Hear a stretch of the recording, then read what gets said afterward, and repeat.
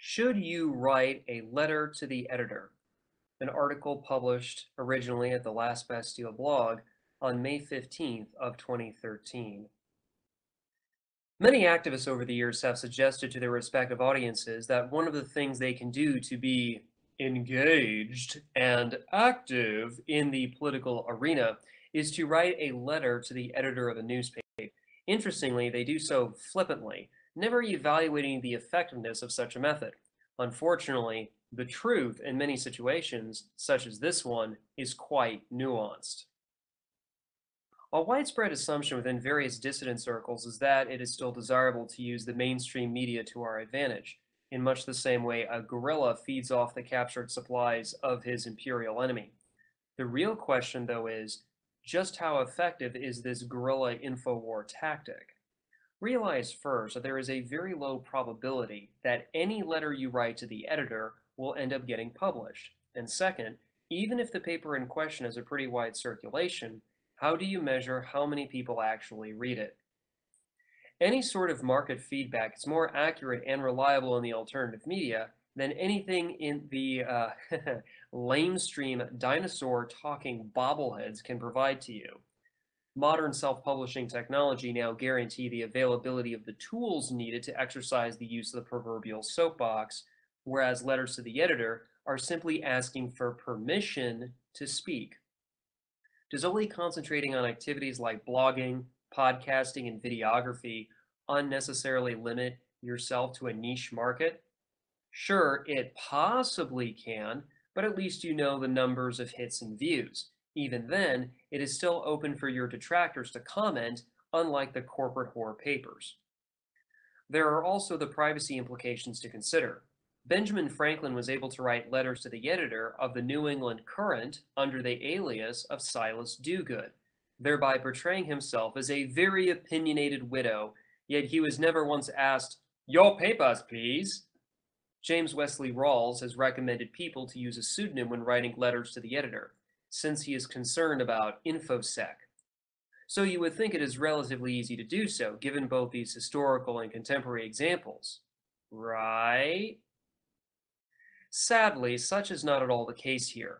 Just by concentrating on a smattering of local newspapers here in Austin, as well as different local newspapers in other cities that served as a type of control group, I was able to determine that it is literally impossible to anonymously write anything to the editor and expect a fair gamble at getting it published. Now, granted, papers are free to publish whatever letters they receive, but what I object to here is the constant policy of them either demanding some combination of your legal name, physical or mailing address, and or telephone number before you are allowed to submit your letter for potential publication or otherwise asking you for these details after they've made the decision to publish your letter, yet still make it only a conditional acceptance as such, depending on the individual newspaper, of course. If you think I am overreacting to this overtly corporatist behavior, consider what happened to Michael Kuzmin back in 1981. He wrote a letter to the editor of a local paper expressing his personal views about what some would think of as a controversial political topic. As a direct result of the publication of his letter, the Criminal Investigation Division of the IRS conducted a four day surveillance operation on Mr. Kuzmin and his family. Now, what crime was he suspected of committing? We will probably never know for sure, but what is crystal clear here is that writing a letter to the editor especially in the context of exercising political speech, which was supposed to be legally protected by the First Amendment, makes you a target for political persecution. Hence the need to be able to publish anonymously, which the mainstream media has now made it virtually impossible to do. Welcome to police state America. Probably a nearly untouched upon aspect regarding the validity of writing a letter to the editor is, what exactly is the goal here? Is it to win over hearts and minds? Is it a naive attempt to somehow recruit people to join your particular organization?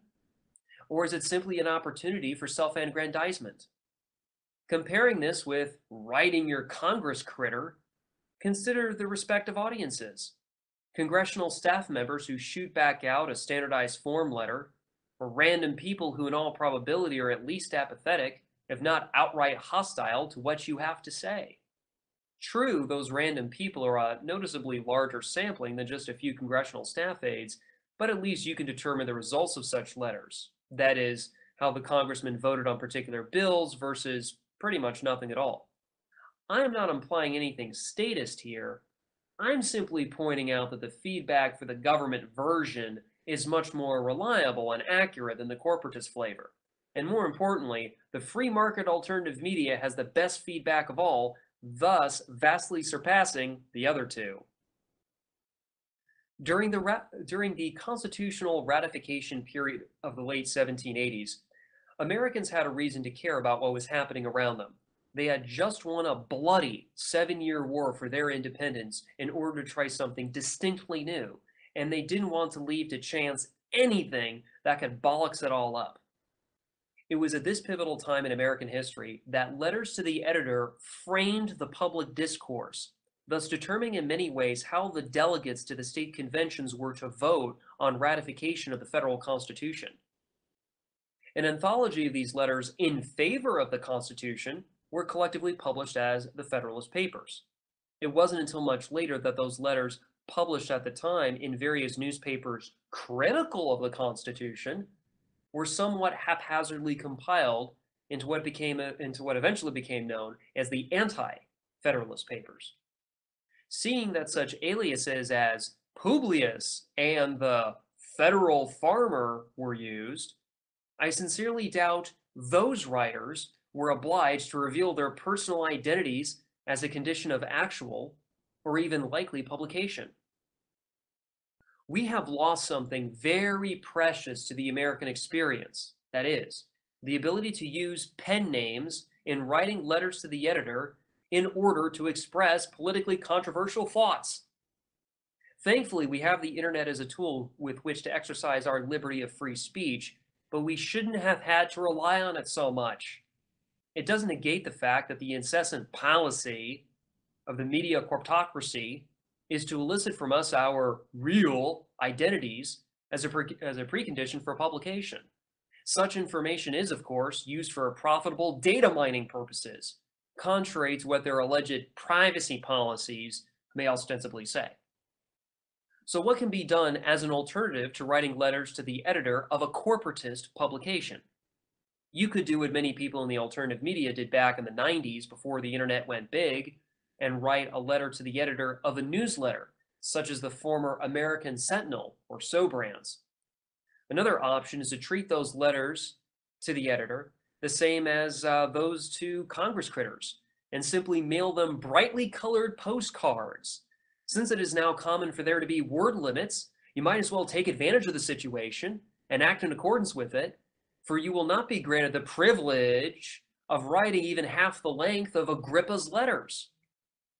I also recommend writing your own book reports exposing the evils of the establishment, and this can be accomplished by posting them on discussion forum boards, by blogging, or perhaps even by microblogging.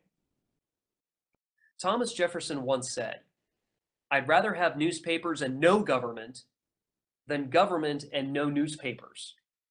While I can appreciate the sentiment, I think even he could understand why I cannot agree with his preference for my own nuanced reasons. At this juncture, I would rather bypass, bypass these newspapers and even the internet to some degree by giving people who live near me locally some literature and allowing them to, shall we say, convert themselves instead of uselessly debating with them using the soapbox. The carnival of distractions, or shall I say the carousel of carnivores that has infected the alternative media, has wrought enough damage by wasting valuable human time and energy into ineffective and even counterproductive tasks. I think it is high time for my fellow bloggers to expose them for their misdeeds by writing audio timelines, thereby documenting their foolish talk for those who bother to read. And hopefully by demonstrating the foolishness of such techniques like writing Congress critters or editors much of anything, we can then regroup and begin to ascertain how to more effectively secure our common liberties. This article was originally published on the Last Bastille blog back in May 15th of 2013, and it is entitled, Should You Write a Letter to the Editor?